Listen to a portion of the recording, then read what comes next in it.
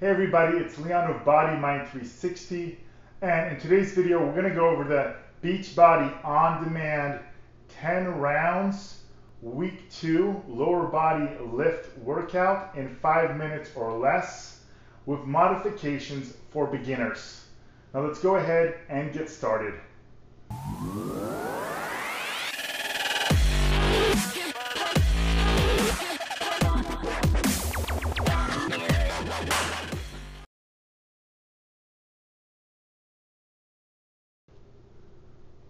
The warm-ups, the first exercise is gonna be done are gonna be the deadlifts. They're pretty much borderline straight leg deadlifts here, with just a slight uh, bend in the knees. Now for this, uh, if you don't have traditional free weights, uh, for me, I use this water jug. If you're a beginner, you don't even need this much weight. You could technically do it with much less weight. One of my clients, uh, she used a little paint bucket she had, a little handle, that works for her. It's not about heavy weights. When you're first beginning, you may just get a lot out of just the stretch here. So for the form, you're gonna grab it, bend over, abs tight, bring it straight up, abs tight, squeeze your glutes on the way up. Okay, this next exercise is probably the most complex exercise of this workout, and it is not very beginner friendly.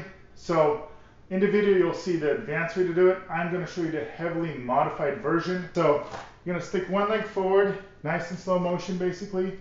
You're gonna bring the back knee down slightly, and then you're gonna rotate just a little bit, bring it up.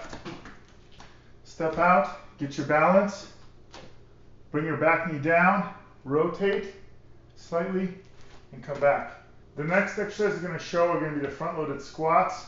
Now, last week when I did these, I showed it with a heavier weight. Um, you could do this with a much lighter weight, just like this, like a water container. Again, I'm going to show you ultra beginner with no water weight, uh, no, uh, weight at all. So the only thing I want you to focus on is wide stance where you also have a um, feet straight forward, arms up here where you would have the weight, chest out, and stick your butt back. Do your best kind of Kardashian uh, impression. Butt back. And you might only be able to go this slow. Notice my knees aren't going forward.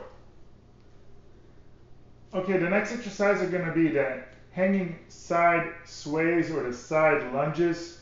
Um, last week again uh, on my leg workout, you can check out the full range for this that you can do for proper form.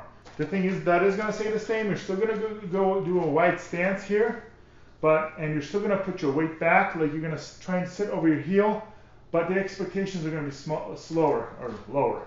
So uh, basically, just like this is fine if you're beginning, have a lot of weight to lose, so you're just gonna stick it back just a little bit. Might be just like this. All right, next exercise is gonna be the sumo squats, and again, for a beginner, we're gonna dump the weights on this. You probably won't need. it. You're gonna feel this a lot, if you, especially if you've never been really squatting. So sumo squat again, wide stance. The difference here is you're gonna have your feet out as opposed to in. You're gonna really feel it quite a bit different. And again, your range is gonna be much lower. A lot of people find this easier when they're beginning as well. This might be all you can do, and that's fine. Okay, next exercise are going to be the one-sided uh, stationary lunges. One leg out, arms to the side, just bring your knee down. And again, you may only go about this slow. Again, might be just as slow, bring the back knee down. Okay, the next exercise they're calling the, the one leg uh, banded deadlift. So what's going to happen here is these bands are going to kind of create this elastic effect. It's going to put the opposite leg back and bring it back and forward for balance, beginner range. Okay, next exercise is going to be the banded single leg heel lift. So what you're going to do here is you're going to take one of your legs, bring them back, Okay, and you're gonna squeeze your glutes as you come back. Kicking back, squeeze your glutes. Dead bug, have the weight up in front of me, knees up. You can reach for the sky, bring it down. Go straight up like this, or over the knees, straight up. Final, final core exercise is gonna be the one arm oblique crunch. So again, you're gonna come up, cross over a little bit, bring it down.